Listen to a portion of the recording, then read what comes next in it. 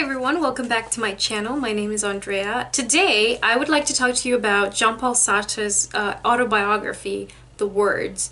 Now, there's not much to say about it other than it's covering his childhood and his early adolescence and explains to us kind of how he got interested in literature in the first place and philosophy. One of Sartre's big beliefs was that no matter what has happened to you in the past, no matter how big a trauma, no matter what hardships you've endured, not only will you be capable to overcome this, but you will have the ability to transcend that experience and rise above it. He kind of uses that sort of philosophy when he talks about his early childhood. In it, he shows you examples of his own life when he was down and could have failed or could have taken another path.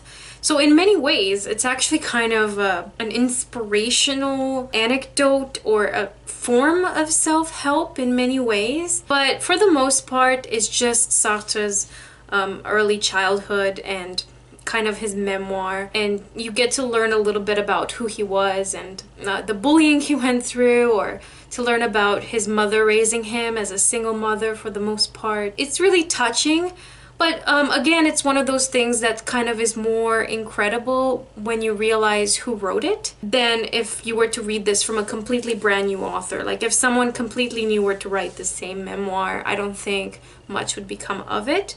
It's almost uh, important and wonderful because you know who wrote it and you know what happened to this future person. So I, I, really enjoyed it. This was a reread for me and it's part of my rereading classics project. Aside from everything I just said, I just want to mention that this book has some of the most beautiful language that I've ever read and it's just packed with so many beautiful lines and I'm not even reading it in the French.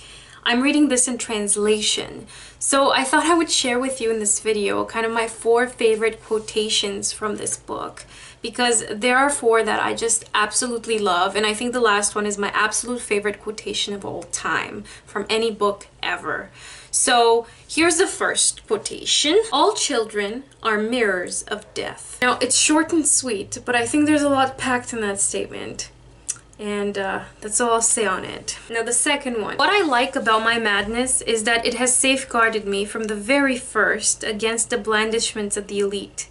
I have never seen myself as the happy owner of a talent. My one concern was to save myself. Nothing in my hands, nothing in my pockets, through work and faith. Now at last my unadulterated choice did not set me up above anyone, with neither tools nor equipment, I gave my entire self to the task of saving my entire self. If I put away salvation among the stage properties as impossible, what is left?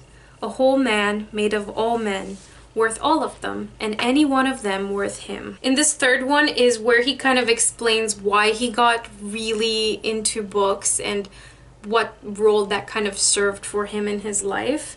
So he wrote, I moved from knowledge to its object. I found ideas more real than things, because they were the first to give themselves to me, and because they gave themselves like things.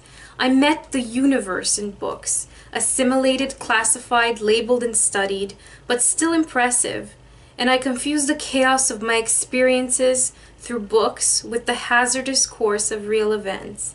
Hence my idealism, which it took me 30 years to undo. And then the last one, which is my absolute favorite one, and it's the longest. This is kind of him just starting to tell you about his life in books. And it's just it's so beautiful and and this wasn't a quotation on goodreads so i added it so i'll link it below if you want to add it to your goodreads so here goes i began my life as i shall no doubt end it among books in my grandfather's study, they were everywhere. It was forbidden to dust them except once a year, before the October term. Even before I could read, I already revered these raised stones, upright and leaning, wedged together like bricks on the library shelves, or nobly spaced like avenues of dolmens, and I felt that our family prosperity depended on them.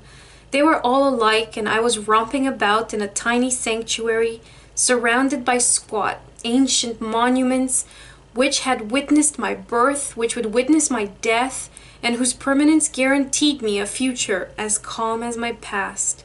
I used to touch them in secret, to honor my hands with their dust, but I did not have much idea what to do with them, and each day I was present at ceremonies whose meaning escaped me. My grandfather, so clumsy normally that my grandmother buttoned his gloves for him, handled these cultural objects with the dexterity of an officiating priest. Hundreds of times I saw him get up absent mindedly walk around the table, cross the room in two strides, unhesitantly pick out a volume without allowing himself time for choice, run through it as we went back to his armchair with a combined movement of his thumb and right forefinger, and, almost before he sat down, opened it with a flick at the right page, making it creak like a shoe. I sometimes got close enough to observe these boxes, which opened like oysters, and I discovered the nakedness of their internal organs, pale, dank, slightly blistered pages covered with small black veins, which drank ink and smelt of mildew. In my grandmother's room, the books were lying down. She used to borrow them from a lending library, and I never saw more than two at a time. These trashy works reminded me of New Year's sweetmeats because their shiny, flexible covers seemed to be cut out of glazed paper. Bright white, almost new, they served as an excuse for petty mysteries. Each Friday, my grandmother would get dressed, go out, and say, I'm going to take them back. When she returned and had taken off her black hat and her veil, she would take them out of her muff, and I would wonder mystified, are they the same ones? She used to cover them carefully, and then, having chosen one, she would settle herself by the window in her winged armchair, put on her spectacles, sigh with pleasure and weariness, and lower her eyelids with a delicately voluptuous smile which I have since discovered on the lips of the Mona Lisa, my mother would fall silent, inviting me to keep quiet, and I would think about Mass, death, or sleep.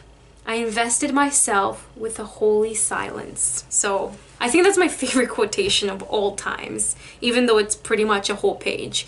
But it's just so beautiful. That's it. That's Jean-Paul Sartre's The Words. It's very small and it's very accessible, so if you are interested, I will put links below. And thank you very much for watching. I will see you in my next video. Bye!